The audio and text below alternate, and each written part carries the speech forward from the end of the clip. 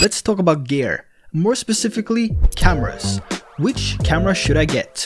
This is the most frequently asked question as a beginner. A quick online search gives you millions of reviews, and at times it might be hard to know where to start. There's so many cameras to choose from Sony, Canon, Panasonic, Blackmagic, and Red. The list is long. Many of these cameras are so expensive, and just getting into filmmaking, you might think the better camera I have, the better videos I make. But from my experience, I can tell you that this is not completely true. You might find more inspiration and motivation by getting a more expensive camera, but starting out, this won't make your videos better. I always dreamt of having the most expensive camera shooting 6 or 8k and seeing all these top content creators getting every new camera for review, it made me want these cameras even more. But with no money to spare on such an expensive device, I started out with the Sony a6300 and a kit lens. Now, let me tell you a story from when I first started and the first camera I got and what happened when I got this first camera and my experience overall using different cameras. Five years ago, I found my passion for filmmaking. It started when my son was born, Philip. My biggest inspiration was Casey Neistat, and being home with my son for months, I watched every single video that Casey had uploaded and every single video being uploaded.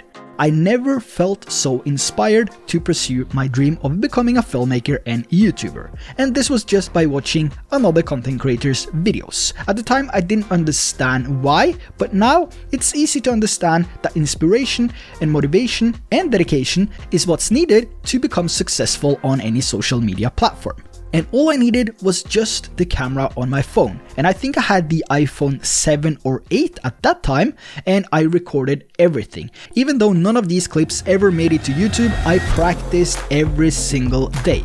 Composition, angles, moves, settings, well, settings was basically tapping the record button at that time, uh, but I think you know what I mean. I also needed somewhere to edit these videos that I recorded. I had an iPad did one search, best editing app for iOS. At the top of my search result, I saw LumaFusion. At the time, LumaFusion was a basic, straightforward editing software. Import, trim, grade, add some music, and export. Everything I needed. But after spending a few hours on YouTube looking at videos from different creators, I saw that my videos weren't even close to the quality uploaded from these guys, and I gradually started losing motivation. That's when I got the Sony a6300. I felt like I needed a change. Even though I didn't know how to use this camera, I immediately felt more professional. With different picture profiles, changeable lenses, a sharper image, oh man, I can't even describe the feeling that I had. With this cheap entry level camera, I found more inspiration and motivation than I did with my iPhone. And I started seeing the number of change to my subscribers. First a few hundred, a few thousand, and then I reached 30,000 subscribers, mainly using the Sony a6300. Now don't get me wrong, this had nothing to do with me using a mirrorless camera. This was simply because I got more motivation to work hard and pursue my passion of becoming a filmmaker. For me, this was a simple change of path from the smartphone to a real camera. So if we take a look at the phrase gear doesn't matter, I don't know if that's completely true, to a certain point, of course, as a content creator and filmmaker on YouTube or any other social media platform, you don't need 8K RAW or the biggest rig you can find. You need a camera, and it doesn't matter what camera you use. It's all about finding something that you have a passion for, something that you love using. Whether this is your smartphone, a mirrorless or a DSLR camera, or even an action camera. Gear doesn't matter or what camera you use doesn't matter. What matters is that you should always enjoy making content, regardless of gear. So if you enjoy making the content with your phone, save your money and follow that path. If you struggle with motivation and you find yourself not being dedicated enough, try changing path. Get a cheap camera, test it out, and see if you get more motivation, inspiration, and even become more creative getting this new device.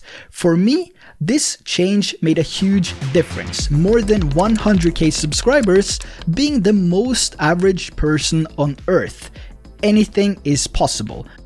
So that's my story from starting with a smartphone. It didn't really work out for me, but maybe it does for you. But just a simple change of path can mean the difference between success and failure. I will always love to shoot with my phone, it's so convenient and it's always with me. With new technology every year, the smartphones are just getting better and better. Telling a compelling story through video has nothing to do with what camera you use, but a camera or equipment can help you on the way to achieve your goals and eventually tell better stories. Not because of the quality, but because it gives you something new. I hope you found some value in this video. Show your support by sharing this video with friends and family or on social media. All my recommendations and the gear I have been using will be down in the description below. And I also want to say thank you for all the support from commenting, sharing my videos, getting my LumaFusion presets and watching the videos I publish. It really means a lot. So until next time, take care and I will see you in the next video.